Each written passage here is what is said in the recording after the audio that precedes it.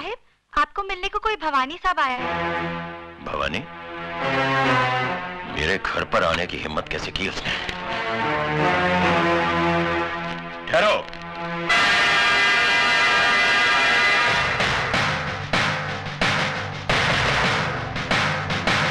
हमारी बातें घर की चौकट के बाहर ही हो तो बेहतर है। सुना था दो दरवाजे किसी के लिए बंद नहीं होते। एक अस्पताल का और दूसरा पुलिस का। लेकिन ये मेरा घर है। और इसी घर की चौखट पर लिखा है। वेलकम। यानी कि स्वागतम। नमस्ते। इजाज़त हो तो मैं अंदर जाऊँ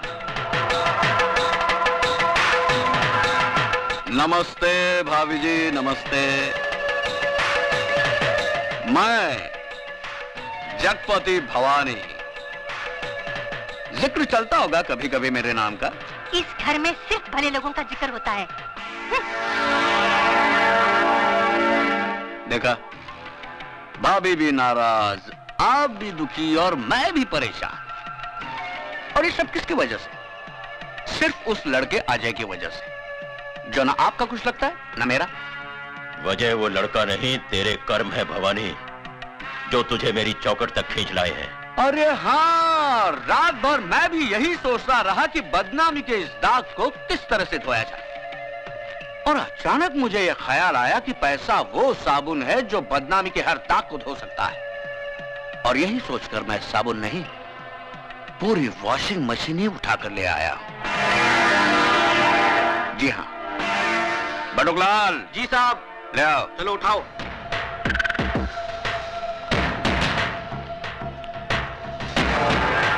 यहाँ रख दो आराम से। तुम लोग जाके बाहर बैठो। चलो चलो, मैं आता हूँ।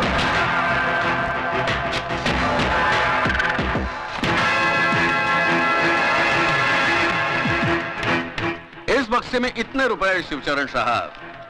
कि आप जिस थाने में काम करते हैं, उसके सामने आप 50 माले की बिल्डिंग खड़ी कर सकते हैं, जिसकी छत से आपका पुलिस स्टेशन माचिस की डिबिया नज़र आएगा। सबसे पहली बात इस घर में सिगरेट पीना मना है। और दूसरी बात गंगा गंगाबाई जी साहिब। गंगाबाई ये साहब बक्सा भर के नोट लाए हैं मुझे रिश्वत देने के लिए। तुम इनमें से जितने नोट लेना चाहो ले सकती हो। सोच क्या रही हो? साहिब मैं इस घर में 11 साल से काम करती है। आप पुलिस में इतने बड़े अफसर हैं। कभी कभी मेरे को दो दो महीने के बाद पगार मिलता है। फिर इतना बक्सा भर के नोट तो हराम की कमाई होगी ना? साहिब मैं झूठे बर्तन मांझकर अपने बच्चे लोग को दो वक्त की रोटी खिला सकती हूँ। लेकिन ऐसे हराम की कमाई पर थूकेगी भी नहीं। हाँ। सुन लिया भवानी जिस पुलिस ऑफिसर के घर में बर्तन मांजने वाली का जमीर इतना बुलंद हो, उस ऑफिसर के ईमान की क्या कीमत लगाएगा तू? उठा इस कचरे को और दफ़ा हो जाए यहाँ से, वरना रिश्वत देने का एक और जुर्म तुझ पर लग जाएगा। इस वर्दी में बहुत गर्मी होती है, शिवचरण साहब। इसलिए समझदार ऑफिसर रिश्वत के छींटों से इसे ठंडा करते रहते हैं, वरना ये पहनने वाले को जला देती है। तो फिर इस वर्दी से दूर ही रहना भवानी। क्योंकि इस वर्दी के अंदर बारूद से बना हुआ जिस्म है। अगर उस जिस्म ने आग पकड़ ली तो वो धमाका होगा कि तेरे जिस्म के चीतड़े चीटियाँ तक नहीं ढूंढ पाएँगी। अब जा, मंदिर में जाकर अपनी ज़िंदगी की दुआ मांग, क्योंकि मैं तेरी फ़ाइल चीफ मिनिस्टर साहब के पास लेकर जा रहा हूँ। Good luck.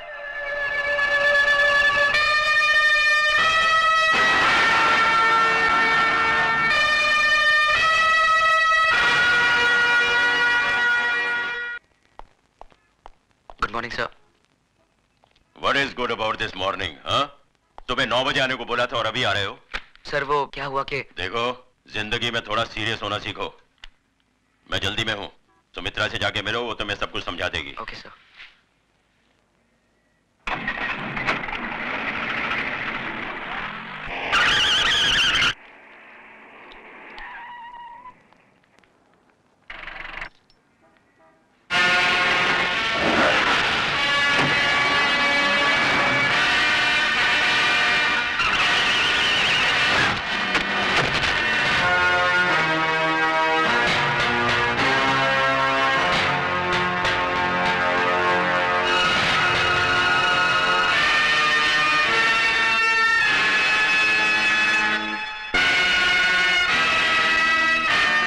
जय भवानी।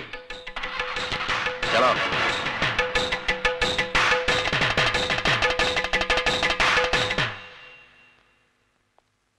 डॉक्टर साहब हम्म। कैसे हैं वो? बस समझ लीजिए कि मौत के मुँह से वापस आ गए लेकिन अभी उनकी हालत नाजुक है। खतरे की कोई बात नहीं है। हेलो भवानी साहब आपके लिए एक बुरी खबर है। एसीपी शिवचरण बच गया। कौन सर? नहीं बटुकलाल तुझे एसीपी की खैरियत पूछने अस्पताल जाना है।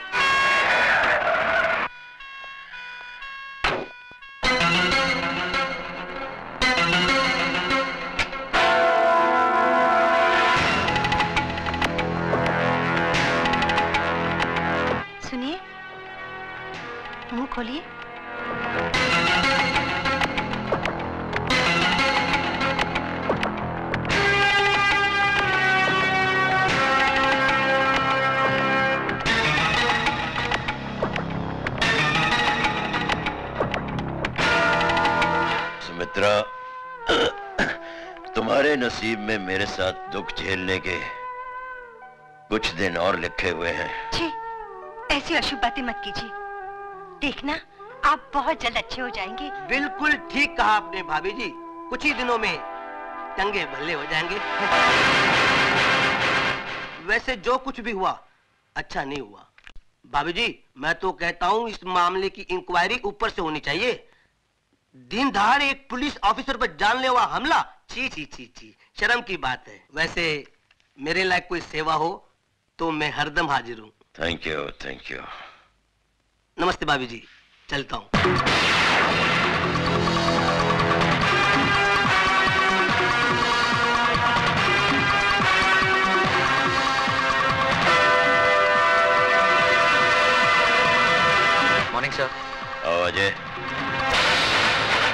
सर मैंने अभी अभी भवानी के पीए को जाते हुए देखा वो यहाँ आया था। हाँ देखने आया था कि मैं ज़िंदा हूँ कि मर गया। इसका मतलब आप जानते थे कि आपको मारने में इन लोगों की साजिश थी। और कौन हो सकता है? तो फिर आपने इन लोगों को गिरफ़्तार क्यों नहीं किया? क्या फ़ायदा? वो अदालत में साबित कर देते कि इस हादसे में उनका कोई हाथ नहीं है। उनके खिलाफ कोई गवाही भी नहीं देगा। और फिर हमारे पास कोई सबूत भी तो नहीं है।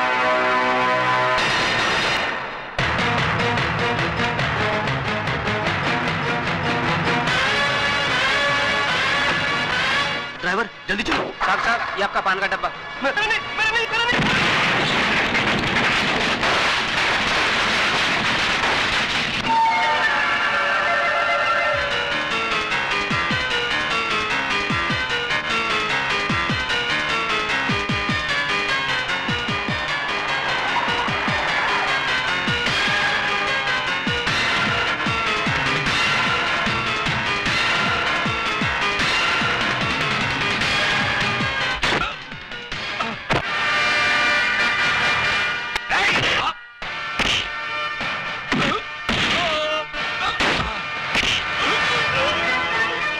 दो बुरी खबरें हैं भवानी।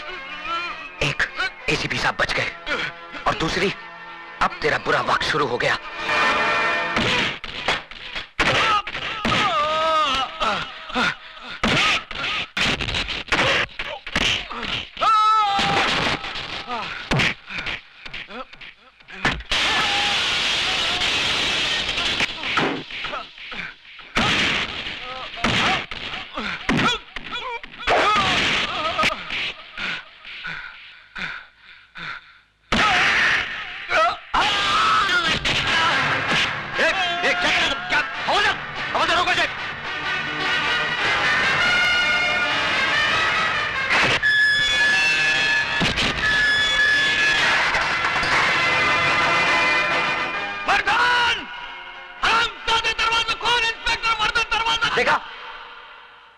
हरामजादा जिसकी वजह से तुम्हारे साथ ज़िंदगी और मौत से अकेले जूझ रहे आज वो इसके जुनून का शिकार हुए। कल तुम्हारी बारी हो सकती है। और यही होगा एक दिन, क्योंकि मुजरिम उस सांप की तरह होता है जो भूख लगने पर अपने बच्चे तक निकल लेता है। तुम लोग तो फिर भी गैर हो। पाप की उम्र बहुत लंबी होती है साहब, लेकिन पापी की उम्र बहुत छोटी। मैंने ज़्यादा किताबें तो नहीं पढ़ी साहब, लेकिन ज़िंदगी ने इतना ज़रूर सिखा दिया है। कि हराम की अयाशी से इज़्ज़त का फाका कहीं बेहतर है? इस वर्दी की आबरू और नीलाम मत करो, साहब। आप इतने मोहताज नहीं कि ऐसी रोटी ना कमा सको। जो ईमानदारी के आटे से बनी हो और सच्चाई की आँच पर पकी हो। कोशिश करके देखो, बहुत सुकून मिलेगा।